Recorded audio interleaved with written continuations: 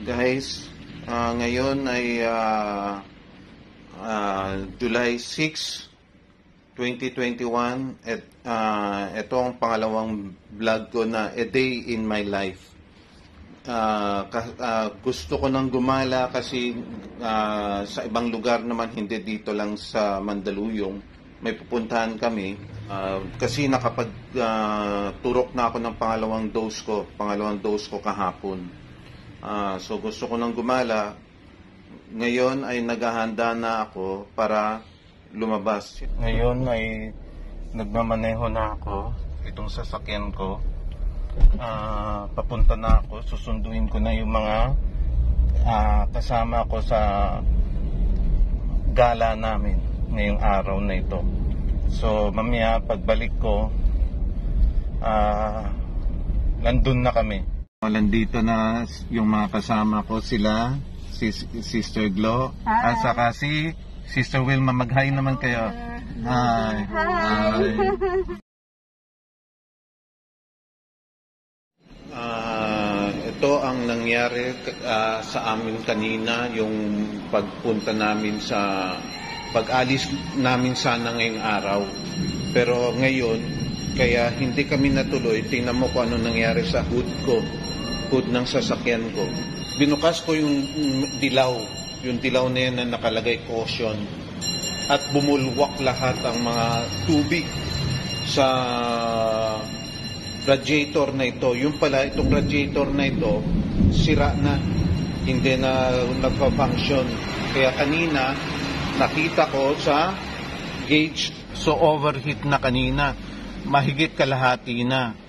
Hindi, ah, so ibig sabihin, overheating na.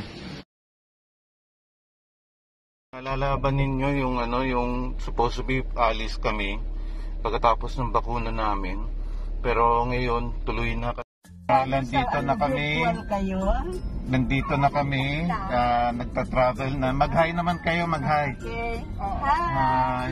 Nagpa-vlog ako eh. Sis- ah, sister. Hello, yan. Um, bagong kasama ko ngayon kasi yung isang a- yung isang araw hindi ah, ayaw hindi pwede ngayong araw. Hindi siya available. hindi siya available. So iba ng kasama ko ngayon. At least nat- matutuloy na kami ngayon kasi ah, nakaraan na nag-overheat itong sasakyan. So ngayon Twice tayo ah, tuloy, tuloy, nag-delay. tuloy na tuloy na.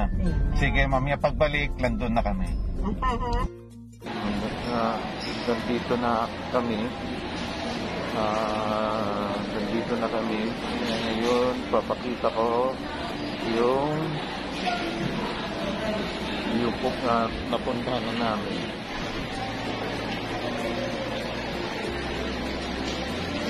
Dito kami sa Walter Mart Munoz Book Sale. Dito sila bumibili ng mga books para sa inmate natin dun sa Mandaluyong. Dito sila bumibili para ma- maaliw ang ah, mga taga-preso natin na magbasa ng mga libro. Ay, no, nagpumipili na sila ng mga libro. Yan o. Para sa ano natin sa preso. Apostolate natin yan. Apostolate yan. Nandito kami ngayon sa Kenny Rogers. Kakain na. Tapos na kami kumain. Mamaya, pupunta na kami sa grocery. Pagbalik ko, nasa grocery na kami. Mga bini- binili ko, ipamimigay ko mga ito. Okay?